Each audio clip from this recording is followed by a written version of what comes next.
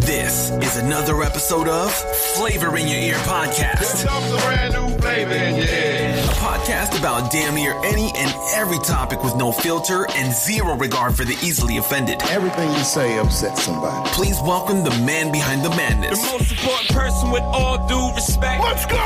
your host and audio flavor maestro, My man. Marques Edwards.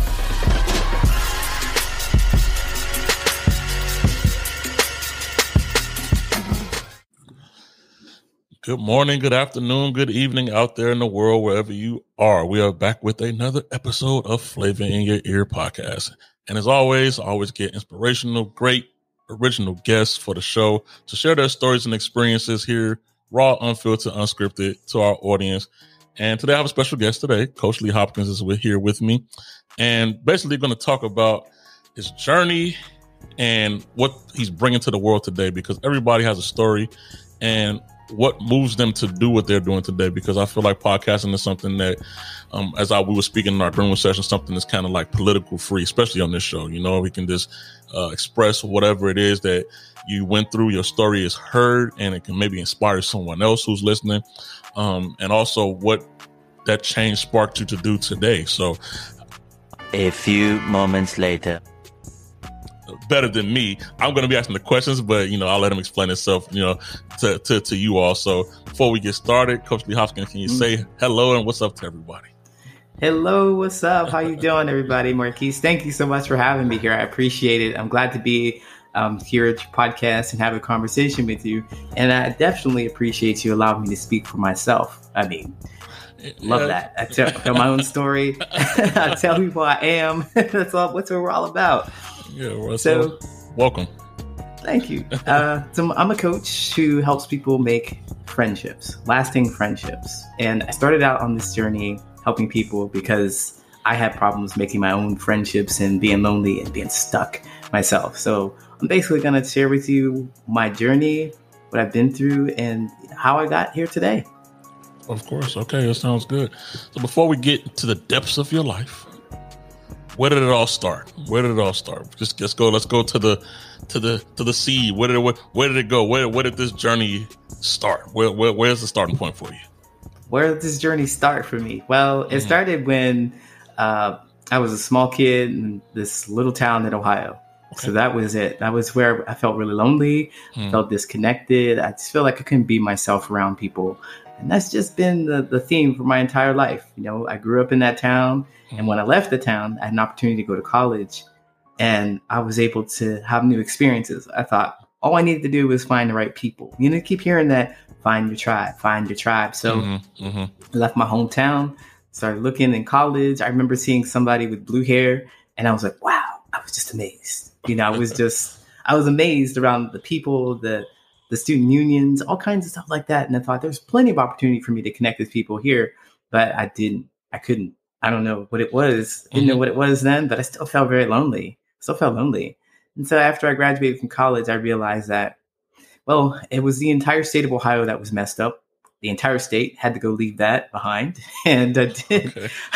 I, I had an opportunity to move to california where i could reinvent myself Mm, i could reinvent myself there and it was I, I did that i did that honestly i met some new people and i started doing karaoke so okay. karaoke. I love I love the karaoke a little bit. So I did the karaoke, and I even organized a kind of karaoke club where people would people knew me. Like I was a Mhm. mini celebrity. I walked to the bars, and people would have my drinks ready. They'd be high fiving me and all kinds of stuff. Yeah, I was feeling like a, a little celebrity here. I'm like, yeah, I found my tribe. You'd think, you'd think, but Uh-oh. then, of course, you know, it didn't work out. I as much effort and, and work as I put into it, as many people knew me, I still didn't feel like I could talk to those people. I didn't feel like I could be connected. I couldn't be authentic and open and real.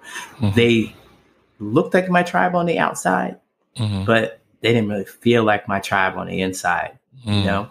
And I think a lot of people go through that. They go and look and they they have that experience. And I'm like, hmm, all right, well, I had this pattern where I think I have to leave and go find something else. So, of course, I left the entire state of California. Thought that was wrong. Just the, the whole state didn't have what I was looking for. Mhm. I left and I moved to Chicago, where I am now. So I had an opportunity to move to Chicago, and here is where I made this transformation. This is what this is what I thought was going to be the biggest, you know, third time's the charm. It's going to be the thing that changed my life forever. And so what I hadn't told you at the beginning of this is that I'm the trans man. Mhm. So when I was in Ohio and in California, I was presenting as a female woman. And when I went to Chicago, I thought that that was the big thing that I was hiding or the secret or the thing that I wasn't able to open with. And certainly I've been carrying that with me. So I thought, well, when I hit the ground in Chicago, I met the right people. And this was about the time where Caitlyn Jenner was coming out. I Mhm. met the right people. I got the right language. I got the support that I needed to Mhm. make this transition to a trans man. Mhm. And I thought right then and there, Marques, that my life was going to be different. I'm going to find my people. This is my tribe, the trans community. It's everything to me. Right. And well, I mean, I was wrong. I was wrong. I know you're. It's, Yeah. It's wrong, and I think that we all have some experiences like that. Now, just because you out there and you, Marques, you're not trans, doesn't mean that we don't understand what it means to be lonely. We don't understand what it is, and far too often, I think we're waiting for an experience Mhm. or a, place or or an event or something to happen Mhm. that make us acceptable that make us uh, fit to be in a tribe that and it- it's just not that and that's what i you know want to talk a little more about that Oh, that's that's uh, that's amazing. First of all, and uh, I like how you're able to openly reflect on you know your shortcomings and things. And you're right. Loneliness has no gender. Loneliness has no color. Loneliness has no height, weight, uh, social security number. Loneliness, you know, lone, loneliness. We've all, even when we have people in our corner, you know, or in, Mhm. in our corner, and you still feel lonely inside. That's that's a different type of loneliness when you feel lonely inside. And yeah I didn't know you were in Chicago. You're not from Chicago, right? I'm from Chicago. I i didn't know you're from chicago yeah, I was born in, born in Chicago and 53rd in Peoria. Yes, I was. so you know that i made the right decision by living here no yeah, you, you did. You did. You did. It's, it's a big city. City life. I'm. I'm. You know, it, it is what it is. I. I've been around the world so much now that I get shocked every time about Chicago because like it's a busy, big city. You know, it's traffic and you know Dan, Dan Ryan and all that stuff like that. But yeah, I mean, definitely it's definitely the biggest city i lived in and yeah, i yeah, it's, it's, it's pretty it's pretty big. But Chicago is beautiful when it's beautiful, you know. Um, but back Mm-hmm. to back, back to the subject though. But yeah, uh, I really appreciate um you being able to you know, be open about uh being lonely. I think a lot of us in society today now nowadays we have a lot bottled up. Um, hmm feelings, um, viewpoints, anything like that. We have a lot bottled up, and that's one of the reasons I was telling you in our grooming session why I podcast because I know a lot of people have a lot bottled up, and they are Yeah. not they don't have the courage to sometimes express those things, right? So thank you for having the courage to express those things, and let's let's let's dig let's dig a little bit deeper into it. So we were talking about you know loneliness and things like that. What do you what, what do you mean? How does it feel for you when you say you were- like it was a lonely feeling or when you were around people your tribe and you still didn't feel it? Like how did explain how the experience made you personally feel? Like, yeah well that feeling was just terrible uh, that's the best that's the best word i've got for it i'm sure there's a There's other words you can use, but terrible, terrible is hitting on the head, huh? terrible. I, you know what? Yeah, there's probably more words that I can use, and people can relate to this feeling of feeling unloved, feeling unimportant, feeling unseen, feeling uncared for. All of those things is what happened, and there were people around me that you said, like you said, there were people around me that that were in my corner, but for some reason I didn't feel it. You know, Mhm. and I think the reason why I didn't feel it, or people don't feel it, is because they're not really being open and authentic. And man, I've heard that so many times. I could roll my eyes at it. Oh, being authentic. What the flip does that mean? What does that mean, being authentic? Mhm. And how do you get there? Like, I thought I was being authentic by talking to people, by showing up, and by doing this, and by doing karaoke, by saying things that were on my mind. Mhm. I thought that was authenticity Mhm. that really isn't what it's meant. That's not what it's meant. And so, what I discovered is that um, I had a fear, like you said, of sharing something deep down inside. And I say something because I didn't really know what that something was. Mhm. I didn't really know what it was. I think we have a I had a problem figuring out what that thing was to share because I thought it was, you know, just sharing my opinions and my my thoughts, Mhm. my ideas. Mhm. But there's so much more to it than that. It's it's your history. It's sharing a bit of your history. It's sharing a bit of your hobbies. Mhm. It's sharing a bit of your, your things that make you happy or make you sad.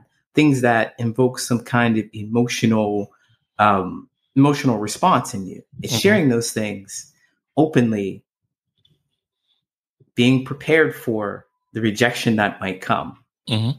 So openly, I'm talking about like I used to play uh, Dance Dance Revolution back in the day. Okay. if you're familiar with that game, it's Mhm. it's kind of really goofy game, but I loved it so much. I was so into it, and every time I opened my mouth about it, every time I said something about it, I was so passionate about it. People would be like, Ugh, "That's so stupid! I can't believe you look at these arrows and play this game." And I would spend money on it. I would. Mhm. I was at this level where I would start counting money as Dance Dance Revolution sets or games.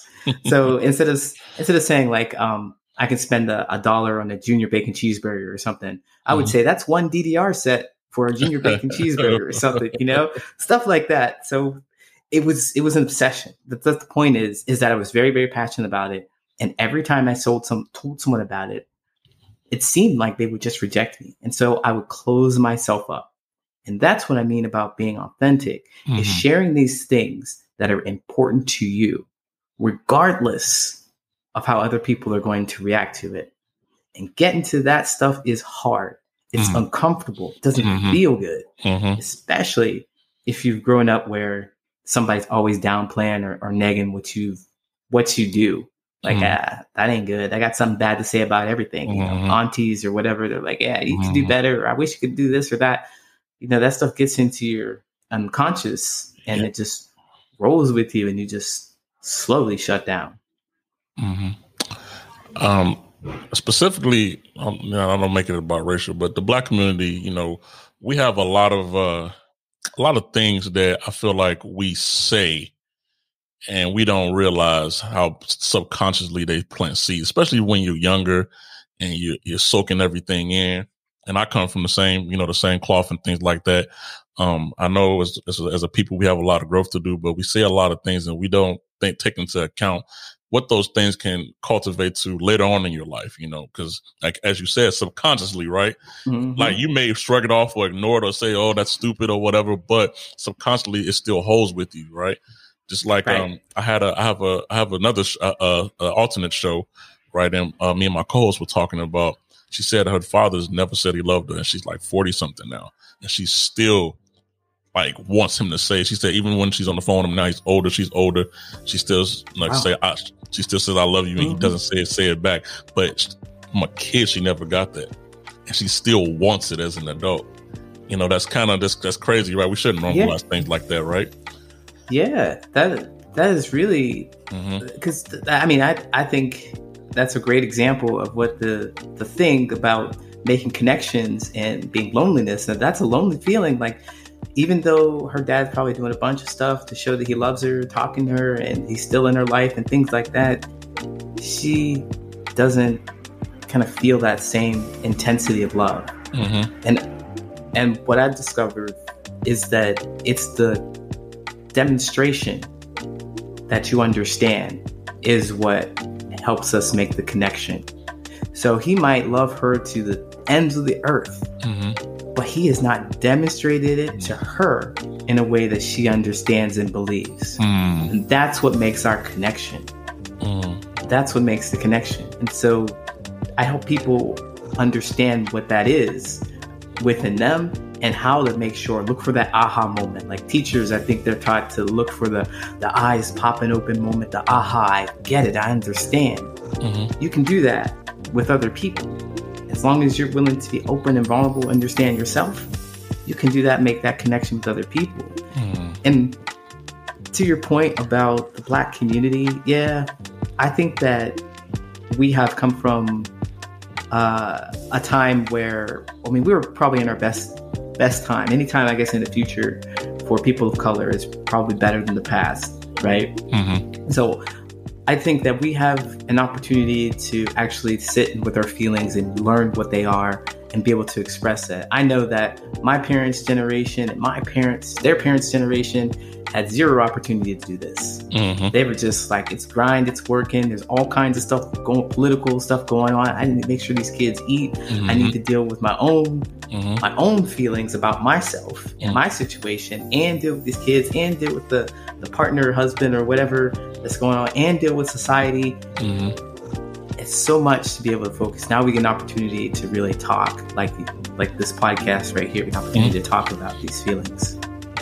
I, I agree. Um, that's a way way to be optimistic about the future. First off, because you know some people, you know, some some people are like, oh, you know, it, you can always point the negative out about things, but it's not only identifying the, it's not even identifying the problem, but you know, uh, the one thing they do tell in the military, which I'm not gonna make make a lot of military references here, but they do say if you if if you bitch about something and you and you you come with a problem, come with a solution.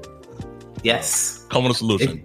Because other than that, you're just griping. You're not making anything better. So, uh, I think that's going to be a testament to a little bit of our conversation as well. Exactly. So, Coach Hopkins, what is friendship to you? What, what, based on your experiences, what do you see friendship as now in your life? Oh yeah, friendship is definitely. Oh man, I've been through so many relationships and so many friendships. They all just folded. I mean, for real. Mhm. Um, friendship is about being able to be open and authentic. Again, being authentic is sharing these things or these hobbies, history, whatever it is about you that is emotionally it, it, it moves you emotionally Mhm. whether it's being angry, whether it's being sad, whether it's being happy and bringing joy, sharing those things with someone who demonstrates they understand you. Mm. So that's what I say friendship and connection is. Now, it's easy to say that when we, we gravitate, when I think about friendship and in and helping my clients, it's really easy to try and gravitate to someone who looks like us because we kind of assume that we have the same shared experience. The idea of understanding, demonstrating that they understand is gone. We don't have to do that because Mhm. you, as a black man, you would look at me as a black man Mhm. and you'd be like, yeah, this guy's probably had corn, cornbread and collard greens at some point in his life. And you Mhm. talk about the family barbecue. Mhm. Boom. You don't have to explain anything to me. Mhm. I already understand. Right. It's like that. It's work, though, to get down to those things that are just more than surface level Mhm. right? It's work. So I'll tell you a funny experience about me and um, being a black man. So I'm trans, right? Mhm. I didn't grow up with a father in the household, single parent mother household, and I go get my haircut in Chicago for the first time in a black barbershop. Oh. Oh, okay. Yeah. Okay. it's something I've never either never experienced before. It's Mhm. like there's such a long wait. Everybody's just talking, talking, talking, talking. Dude comes in with some fried chicken and some soda, and they're just talking, talking, and it's like he's in the middle of cutting my hair, and he stops to talk, and I'm like, okay, is this well? This is what we do, okay? And then I'm just so confused. I'm so confused, and then you know what? This guy, I don't like how he cuts my hair, but I don't know where else to go. So Mhm. I come back the next week, and sure enough, that guy isn't there. So another guy cuts my hair, and I love it. I Mm. love it. I come back the next week. Both the dudes there, dude that cut my hair, I didn't like, dude that cut my hair, and I did like. And they asked me which one. which one? You already know. You already know. I was like, I want the dude who cut my hair, and I like it. And they're like, uh uh What do you? Record scratch. Everybody stop. Everybody thought that I knew the rules. So it's like once somebody cuts your hair the first time, the first person touches your head is the only person who touches your head. Yeah, screw that rule though. I, I hate that. I, I, it's, it's a rule. You're right. I don't like the rule though. If you don't like the I know. haircut, I'm tired of this shit, man. like, no, if you like your haircut, you should better go back. You pay your money. I'm tired. We we are breaking these. We are breaking these habits. them I don't like. I don't like it. I don't like it. I'm sorry. I'm sorry to cut you off. I, I felt. I felt feel- that though. I felt I feel. See, you get, you get. I felt that. I felt that. We got to stop doing that. but do you get it? You mean? Mhm. See, I didn't understand. Like Mhm. they, they assumed that I had the same experience in the school and this understanding of it. But man, you and I would connect a little better than them because they have this rule other people who have this rule it's deeper that affected me emotionally deeply like holy Mhm. i don't think i should be paying my money for this don't you Mhm. understand how i feel about that Mhm. and people are like no rules are rules i don't care i don't understand then it's going to be hard for us to connect Mhm. we don't have a shared value in our experiences Mhm. so that's what friendship is um, a little bit of shared experiences a lot more of a shared value though Shared value, shared value. Mhm. So, so how much, uh, Coach Hopkins, how much does love of self and appreciation of self play into having good friendships with others? Oh yeah, man. Self love of self and understanding of self is everything to it. Mhm. I'm gonna take this to this word boundaries. Uh, Okay. Hear we talk about boundaries, and Mhm. I think the first thing we think about or we've been conditioned to think about is it's how boundaries keep things out, but they also keep things in. There's a plus, there's a minus, there's a up, there's a down. So when we're looking at boundaries, when I want to talk about boundaries and making connections and friendships, it's all about understanding what you want inside of you or your space. You inside of yourself, like yourself, your your connections with other people. Mhm. And um connections, real quick, there are three kinds of connections that you're gonna make with people or make period. There's me, the connection with yourself. Mhm. There's you, the connection with you and one other person. And there's connection with we, which is like society connection, societal connection. So they all start with me though. They all start with anything that you want, with your boundaries, what you believe, what your values are, what your character is.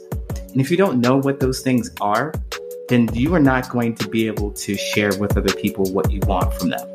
It's going to be hard.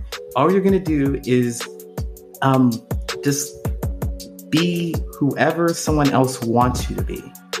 Because just imagine, I mean, it's much simpler to say, hey, I like biking, I like sports, I like Chicago, whatever. I say Mhm. those things, and those are a definitive part of me. Mhm. If I go out there and I'm trying to make friends, and I say, well, I I don't like I don't like Ohio, I don't like uh, swimming, I don't like the Olympics. Those are things that really don't give me a definition of who you are. They're just Mhm. things that you don't know or don't like. They don't Mhm. really define you. Mhm. So a lot of us go out there and we do that. It's like, well, so I don't know how I'm going to talk to you if I don't know what you want to talk about. Mhm. Well, we run into situations.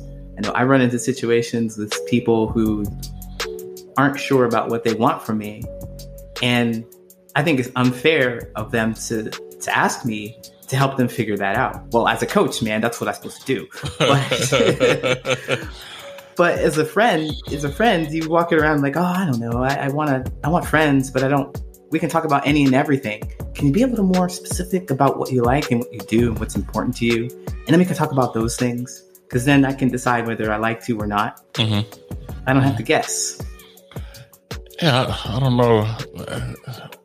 The guess part of, of human beings is probably the hardest guess you can ever make because no one ever knows what's going on inside your head, right? I mean, no one Yeah. can no one can extract and know what your thoughts are. You are the only person who can express your thoughts and your feelings for the most part. And somebody can see, you know, exterior your your posture, maybe when you're sad or maybe when you're proud, you stick your chest out, or when you're upset, you kind of squint your face, but hmm you can get cues, but for you know what's going on in here, and when you, it's hard. They're like it's Yeah. it's extremely difficult to to to to describe or gauge where where they are. Yeah. And everybody wants to be understood. Mhm. Everybody wants to be understood and everybody wants this understanding. Mm-hmm. And so you're out there, you're squinting your eyes, and you're like, well, people don't understand me. Well, that's because you haven't demonstrated what you're feeling to them. Mm-hmm. You haven't opened up your mouth to tell them that you're upset and why you're upset. People don't understand me. Well, of course they don't. Of course they don't. You don't. Mhm. You don't understand yourself enough to be able to share that with other people. hmm That that's that was key. That was really key.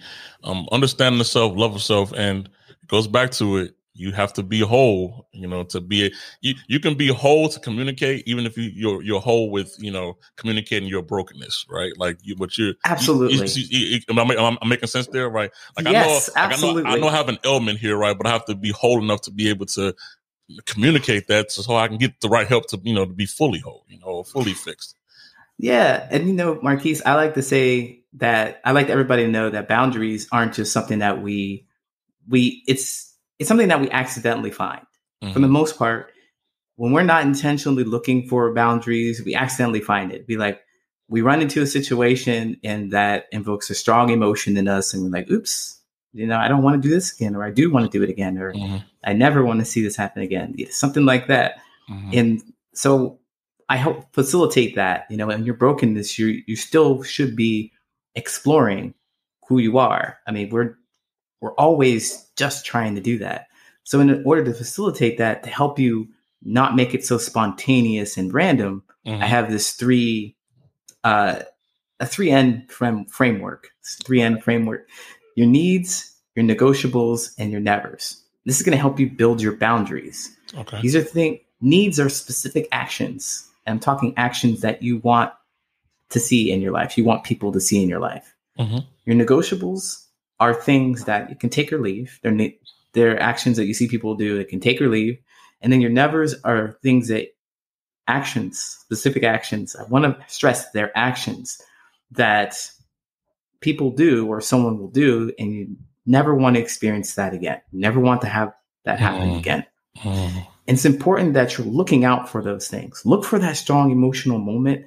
Don't let that stuff just be like, uh, eh, whatever, you know. No, you've got to really know how you feel about that. Mhm. Because if it's anything like me, if you're anything like me in my relationships where, you know, just put up with it, doesn't matter. You know, I want to be Mhm. there. I'm Mhm. okay with it. I'll do whatever. And then, you know, exploding, end up fighting and yelling, throwing stuff, and because you just can't take it anymore. If you just said, if you just honored yourself and just said, hey, I don't want this in my life Mhm. and let it go, then it'd be good. Then you wouldn't have to deal with that stress. Yeah, letting go is harder for us, a little harder for some than others, uh, but it, it takes a lot of courage and strength to let go of something that's not healthy for you, right? That's something that a lot of It's scary. adults, yeah, a lot of adults struggle with it. We know, and kids as well. Um, you know, younger Yeah, adults. man, well. it's it's scary. It's scary. That's why, because we don't want to be lonely. right. I don't want to be alone. I mean, I've done that. I've done that for my entire life. I've just been like hold on to things and people, and I'm so afraid I'm gonna float away because I'm holding on so tight. Right, and it, and I don't. It might not even. I mean, yeah.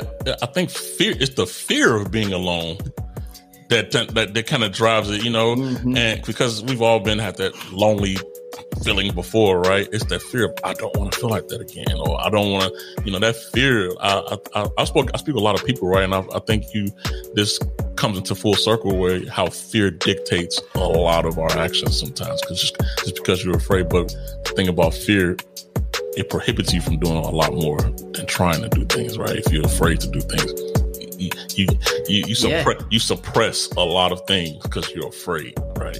So Yeah, exactly. And then you just end up never doing anything, and this mhm. you even have on top of that this fear of never accomplishing anything just Mhm. looming in the background. right, just right, right, fears everywhere. right, right. So these are good. These are really good life lessons to anybody. I mean, any, anybody, Mhm. anybody can take from this, and it takes having conversations like these and talking to people like you to be able to make these conversations normal.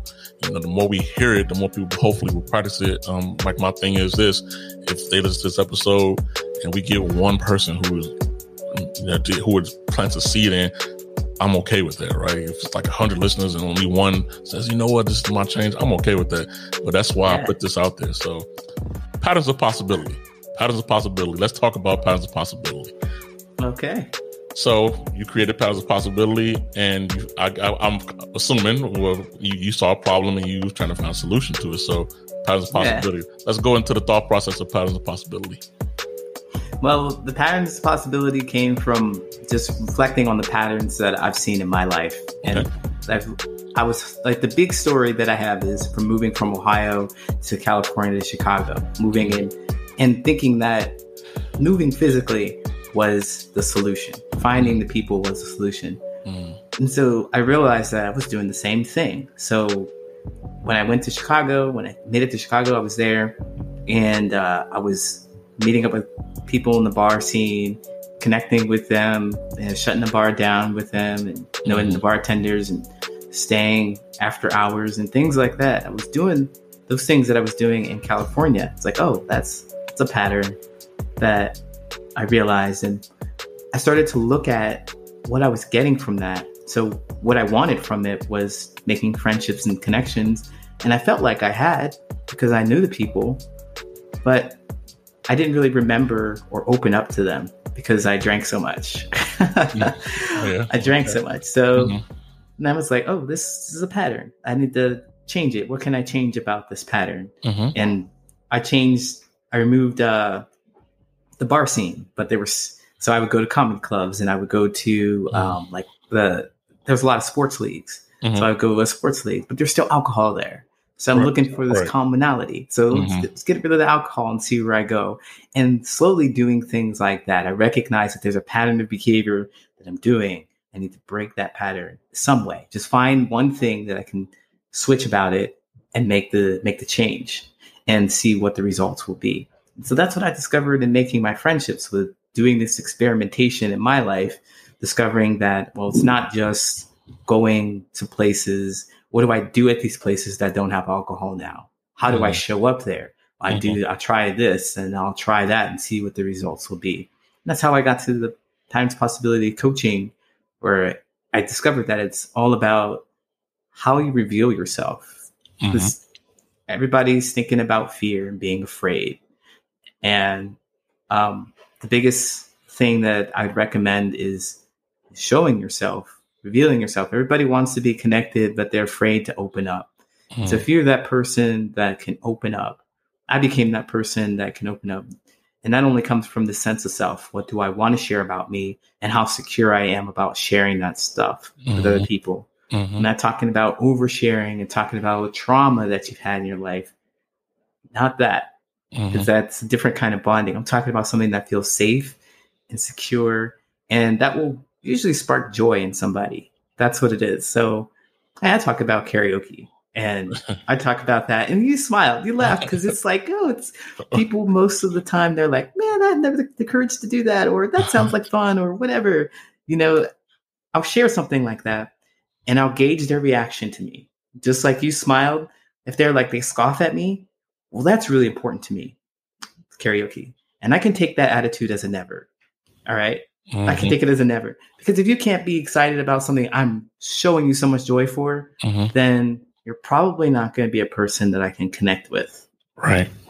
Right. You're probably not going to be there for me when I show you something that's really hurtful and important to me. You might Mhm. scoff at that too, and that's going to hurt like hell.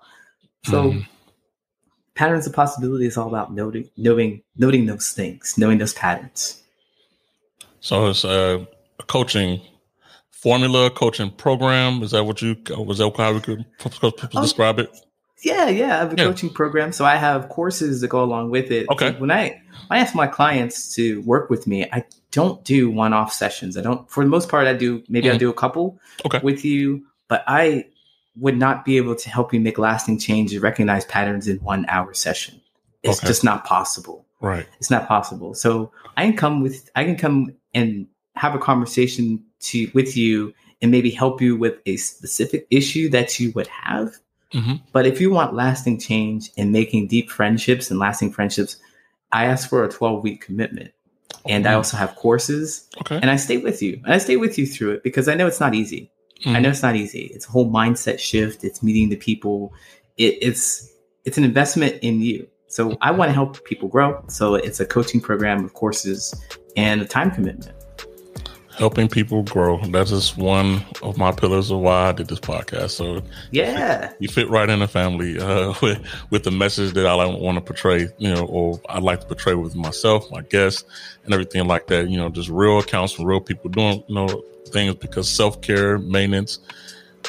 We have to. We have to. The only way we're gonna do better as a society generation is people like you, people like me. You know, helping contribute to society in a positive way for growth. Right? We're not gonna change everything. We're not gonna be able to, you know, turn water into wine, but hmm you, you, you know, uh, Yeah. these are contributions to the world, and I, I I really applaud you on taking your experiences, and because a lot of people go through things and they just go through them, and they that's it. You know, they don't use their experiences as fuel to, you know, teach somebody or to help somebody else. Some people go through it and just like shut down, They Mhm. become a totally different person. They uh, they bury it. They want to ignore it. They don't want it to be a part of it. They, they don't embrace that experience. So uh, thank you a lot for just being able to embrace an experience and get an understanding from it and help others. That's huge.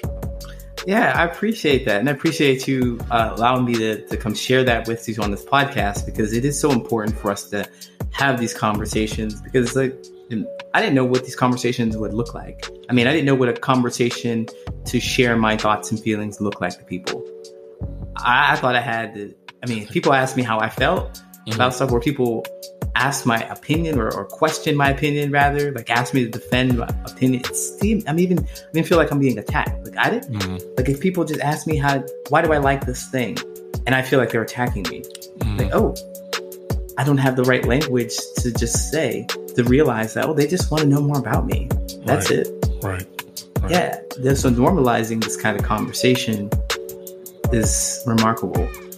That's yeah. That's uh, he, he spoke about you know sometimes you know not having chemistry or networking with people because so a podcast is sometimes you may meet somebody who is just so far off, you know. So like the, the fact the, the fact that we did click when you know uh, this conversation was and things like that is a blessing, and uh, that's why I continue to do this because I, I, I love the fact that that happened. And you talked about karaoke, and karaoke gave me a a uh, memory of Korea. I was in Korea before, and, and the Koreans love karaoke Yeah. they oh my god they love karaoke, karaoke and soju and uh, that's why every time you say it you.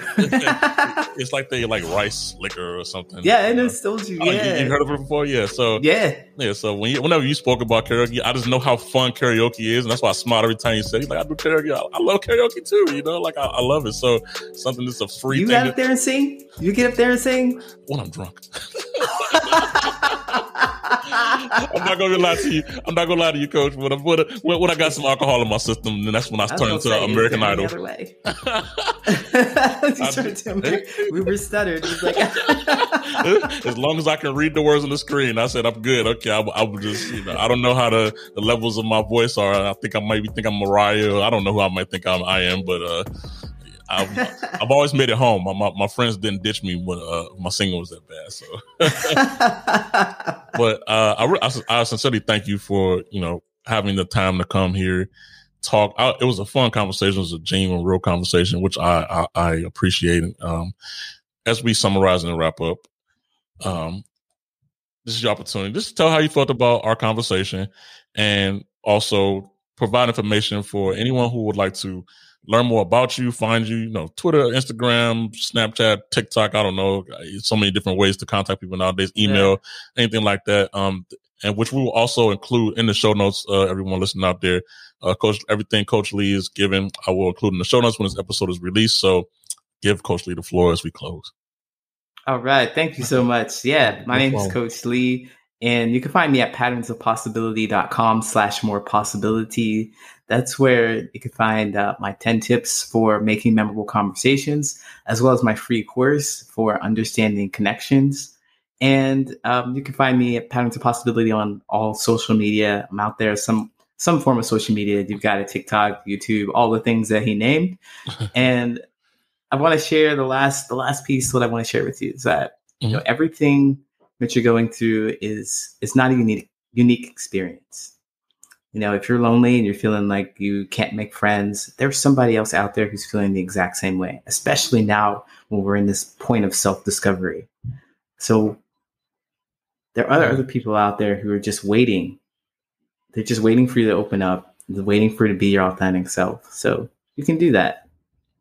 It's not it's not easy. It's not simple, but it's wait, it's not easy, but it's not simple. You know, it was so it was so it was was so inspirational until I just ruined it with this. no, it's no, it's not impossible. That's what you meant to say. It's not impossible. It's not Yes. impossible. There you go. I, I got Thank you. you. I got you. I got you. Thank hey, you. as long as you operate, from, you operate from a genuine place. That's all I care about. Who cares about if you said it the right way or not? We know where you're coming from. You're coming from the heart, and that's all that matters. And that's why I continue to to, Yeah. to to connect with people like this. Good personalities, good spirits. Um, that's what we need here. So thank you so much, Coach Lee. I enjoyed you. I hope you enjoyed yourself as well. Uh, I thank did. You, thank you to all the listeners out there. We appreciate you all. Good afternoon, good morning, good evening, wherever you are in the world. We make these sessions happen. You know, I'm in Italy. He's in Chicago. Time zones got to, you know, line up and things like that. So that makes these moments even more memorable for me you know, because people take time out of their day. I'm here at what, 11 o'clock at night, you know, on a Friday. I'm not at the club. I'm doing something, helping, you know, helping you all get a, a, a great message. So hope you all enjoy and go out and support Coach Lee however you can. If you just go out and just support, just go give a look, you know, give a look, see what what's to offer, see things how somebody you may know can, can benefit off of this. Give a like, subscribe, subscribe, share, you know, a haha, even send them, send them a, t- a TikTok or something if you're doing some karaoke. You might like that too. So so, but I would love it. I would love it. well, we thank you. we thank everybody out there listening, and we will catch you all in the next episode. Peace.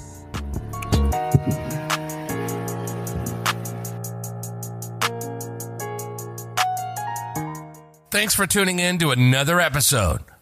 Please leave an honest review, subscribe, and share. Listen to us on all platforms. Follow us and ask questions on Twitter at Marques Podcast Mailbag. Follow us on IG at Flavor in Your Ear Podcast. And like our Facebook page, Flavor in Your Ear Podcast. For exclusive content, info, special offers, and free entry into our monthly giveaways, send your email address to flavorinyourear247 at gmail.com to join our email list. If you're anxious, we have a snippet following our next episode's topic. Peace and love.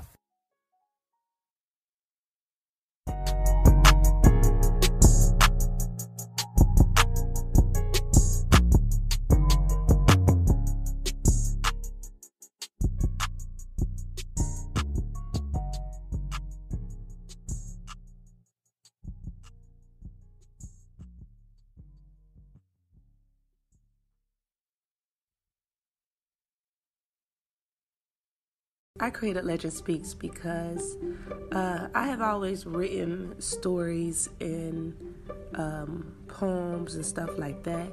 And some of the create characters that I came up with in those stories, I used to name Legend, right? And Legend, part of a Legend story was always based off of something that I went through in my life, in my past. And I uh, just, you know, that's how I started her story in my uh, in my short films or in my scripts. So, Legend Speak podcast is a, I started it because I wanted to tell you a story. But before I tell you this story, I want you to know that this story is being told to educate and not to create more hate. Possibly to bring awareness and to tell you a side of a story that you would have never heard. And to remind you that even if you have worked with someone for 20 years and you trust that person, that does not mean that you know them